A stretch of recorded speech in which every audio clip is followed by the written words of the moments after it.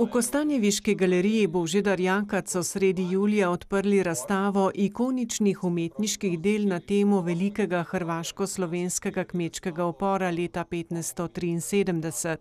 Največja razstava v sklopu celoletnega medinstitucionalnega projekta Upor, buna, revolt, v katerem sodeluje šest muzealnih ustanov iz Slovenije in Hrvaške, je pravzaprav nadgradnja prve razstave likovnih del dvajsetih umetnikov, ki so jo v kostanjeviškem muzeju sodobne in moderne umetnosti na ogled postavili februarja.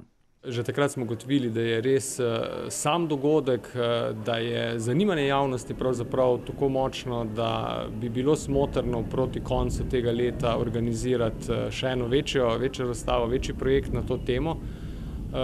in smo se potem na hitro odločili, da v program nekako umestimo še to, da nekoliko razmaknemo, obstoječi dve razstavi, ki smo jih imeli namenjeni za letošnje leto v tem prostoru.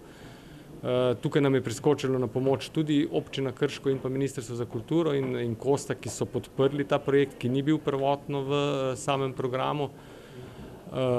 in začeli smo seveda z, zbiranjem materiala, hitro ugotovili, da je tega res veliko, da je ob štiristoletnici bilo, zelo veliko nekih, ne samo dogodkov, ampak tudi, različnih umetniških interpretacij tega dogodka.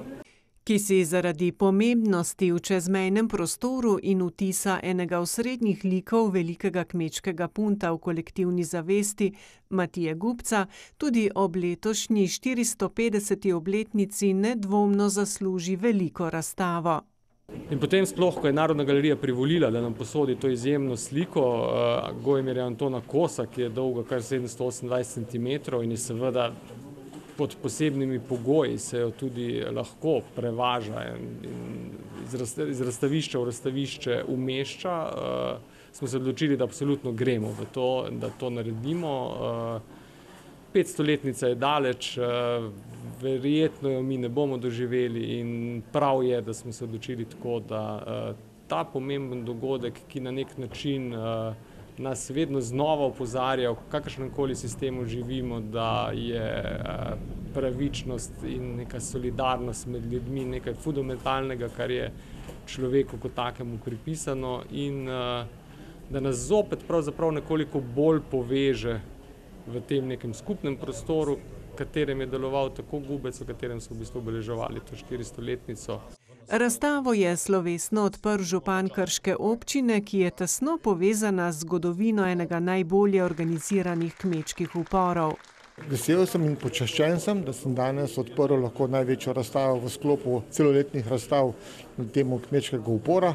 Končni fazi kot mestni župan Krškega, se zavedam in sem ponosen na to, da je Krško je povezano z Gubcem, Krško je Gubčevo mesto, nenazadnje imamo Trg Matije Gubca, imamo stadion Matije Gubca, skratka, Matej Gubec živi v nas, je upornik, tudi mi smo uporniki, borimo se za boljši čas in verjamem, da bomo tudi imeli.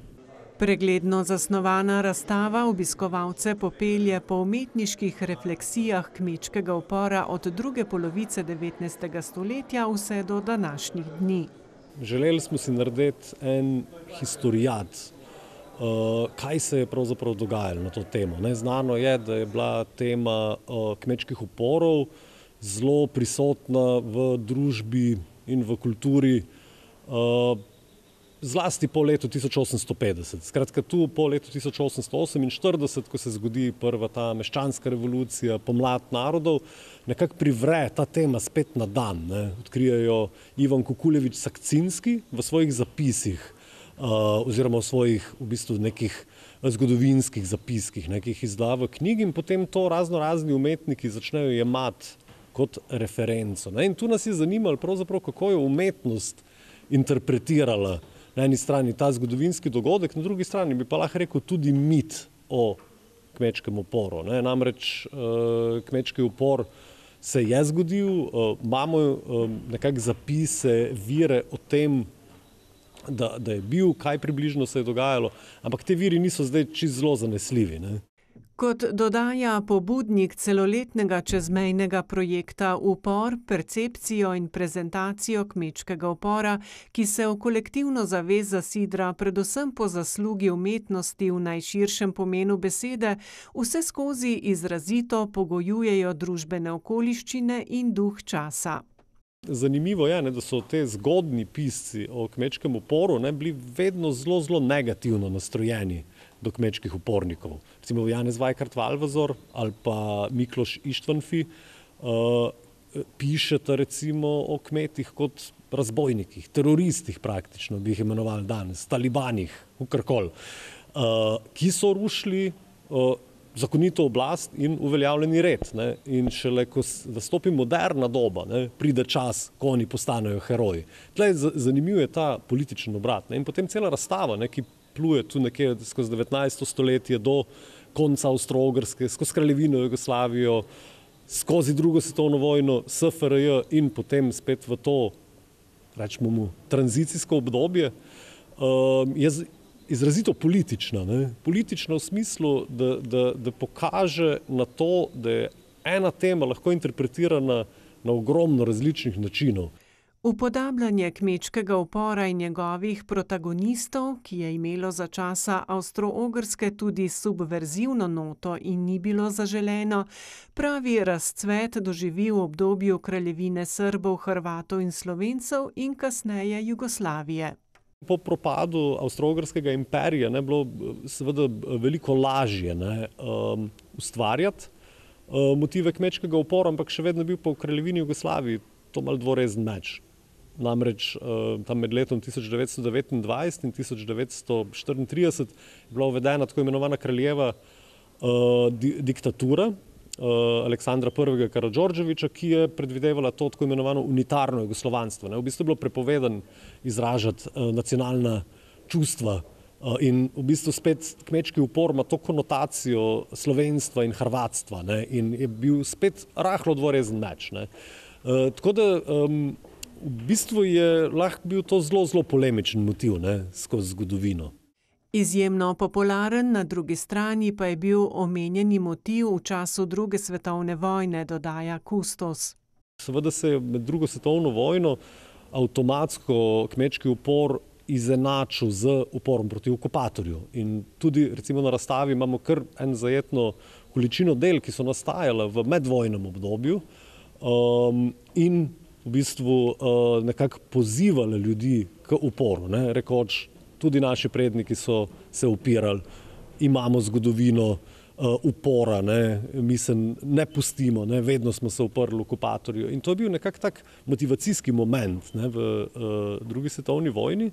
Seveda po vojni, po osvoboditvi, ne, pa pride do tega, da se še bolj v bistvu izpostavi ta razredni element. Ne. Recimo, ko se je odpiral spomenik uh, Matiji Gupcu in kmečkim uporom v Gorni Stubici leta 1973 je slavnostni govornik je bil Josip Rostito, ne, ki je poudaril, ne, da vse to, za kar so se Matija Gubec in njegova kmečka vojska borili, zdaj uresničujemo, tak, skratka takrat, pred 50 leti, uresničujemo v socialistični Jugoslaviji. Ne.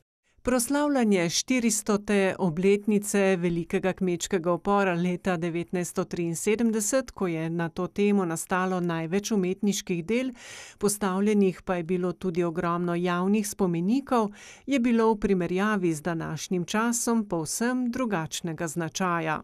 Največja proslava oziroma zborovanje, rekli se temu veliko ljudsko zborovanje, se je zgodilo ravno na tem dvorišču, kjer takrat še ni bilo galerije Božidar Jakac, ampak se je pripravljalo na njeno otvoritev. Namreč galerija se je odprla poskusno leta 1974. Um, in na tem zborovanju naj bi bilo po pisanju dolenskega lista okrog 10 tisoč ljudi. Ne. Skratka, eh, razlika seveda z današnjim časom je ta, ne, da, da je takrat to bil res vse državni ali pa vsaj vse občinski projekt, ne, uh, ki je imel za današnje, v primerjavi z danes, neomejeno količino sredstev. In kjer se je res, res angažirali najširšo ljudsko maso, ne, da se udeleži uh, tega. Danes, seveda, v teh novih družbenih okoliščinah, ne, um, kjer uh, nekako um, naj ne bi bilo več razlogov ne, za upor, ker na, imamo vsega dovolj. Je pa seveda to ostalo nekako na, na plečih nas, muzejev. Ne. Mi smo zdaj ti arhivarji, ne, ki mal simbolično potegnemo ta dogodek ven, ki pa nima več tega uh, političnega potencijala. Ne. Razstavo v sklopu čezmejnega projekta Upor 1573-2023 si v Kostanjeviški galeriji lahko ogledate še do 1. oktobra.